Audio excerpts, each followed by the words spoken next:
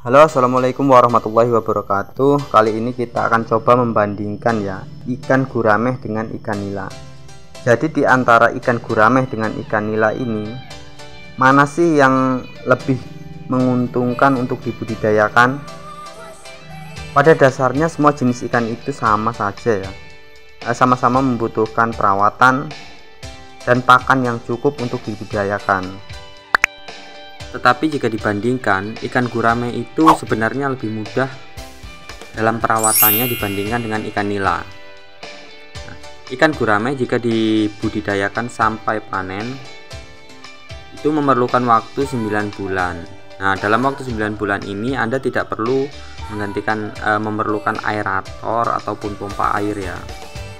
Nah, sedangkan ikan nila itu jika dibudidayakan itu memerlukan waktu dalam e, tebar bibit itu selama kurun waktu 6 bulan. 5 bulan sampai 6 bulan panen. Nah dalam waktu 5 bulan sampai 6 bulan panen itu anda harus menggunakan perawatan khusus ya seperti aerator ataupun pompa air. Dan airnya juga harus selalu dijaga kejernihannya. Karena ikan nila itu sensitif dengan penyakitnya beda dengan ikan gurame. Ya bisa dibilang ikan gurame itu lebih tahan ya daripada ikan nila.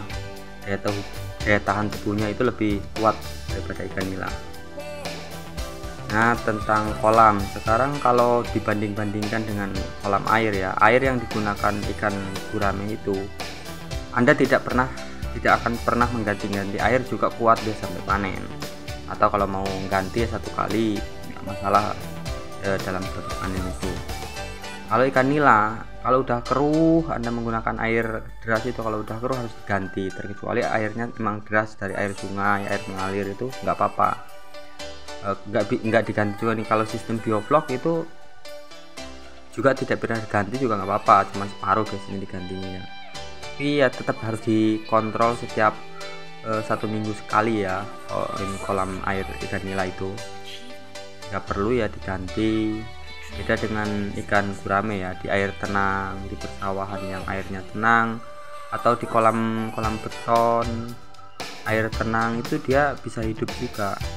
Bisa sampai panen kuat ya. Seperti ini di kolam plastik ini juga kuat ya tanpa aerator ya. Terus apalagi sih kelebihan ikan gurame itu? Nah ikan gurame itu kelebihannya pakan ya. Pakan itu dia nggak terlalu kuat. Makannya nggak seperti ikan nila. Ikan nila itu kalau dikasih makan kuat ya. Maksudnya boros. Kalau ikan gurame enggak sampingan makan selain pelet bisa daun-daunan ya. Daun pala daun apa aja daun singkong daun ayam juga apa bisa dia. Itulah ya perbandingan ikan gurame dan ikan nila Nah untuk kecepatan besar memang kalau ikan gurame itu layak konsumsi itu sebesar tangan ya sebesar telapak tangan itu udah layak konsumsi. Beda kalau ikan nila. Kalau ikan nila itu tiga jari sampai empat jari itu udah harus dipanen. Empat jari itu udah paling besar dia ya. Udah kebesaran. Kalau lima jari itu udah kebesaran kalau dijual di pasar atau di rumah-rumah makan kalau ikan gurame memang besar harus minimal satu telapak tangan itu harus sudah dipanen.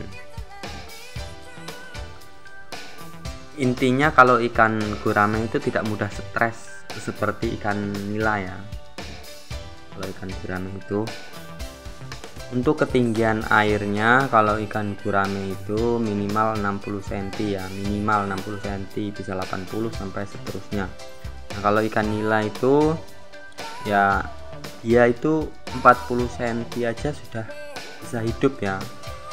Kalau ikan nila memang nggak perlu tinggi juga nggak apa-apa kalau ikan nila. Yang penting aeratornya tapi lebih bagus juga airnya tinggi ya dalam kolam itu. Juga ketebaran padat. Nah, padat kalau ikan nila itu satu kali satu meter kubik itu maksimal 60 ekor dalam satu kolam. Kalau ikan gurame walaupun dia 50 diisi 50 tapi kan dia bisa besar kalau ikan gurame. Nah kalau ikan gurame saya biasanya sih dalam ukuran 3 kali 3 itu saya kasih 200 ya. 150 sampai 200 2 meter eh, 3 meter kali 3 meter atau kayaknya kolam saya ini sekitaran 2 meter setengah kali 2 meter setengah ini saya isi 300 terkadang saya isi 300 terkadang 200 nah bagi anda yang ragu ingin budidaya nila ataupun gurame Semoga video ini bisa memotivasi Anda untuk memilih dan meyakinkan Anda. Apa pun keputusan Anda, semoga membuahkan hasil sesuai yang Anda harapkan. Salam satu hobi, salam sukses.